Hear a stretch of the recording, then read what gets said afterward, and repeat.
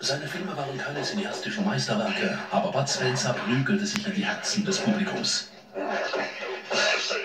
Er war ein Leinwandheld seit den 70er Jahren.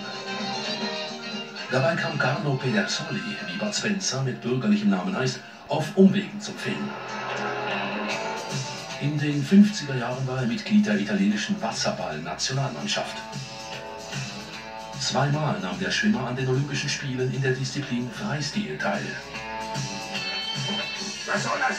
Komm da runter, aber gerne. Den Sprung ins Filmgeschäft schaffte er 1967, dank seiner korpulenten Statur.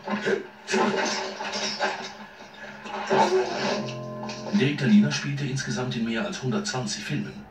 In Erinnerung bleibt er für viele Arbeit seinen Streifen mit Terence Hill. So haben wir das gern. Da ist jemand auf Krawall aus. 17 Filme drehte das Duo gemeinsam. Legendäre Spaghetti-Western wie Vier Fäuste für ein Halleluja.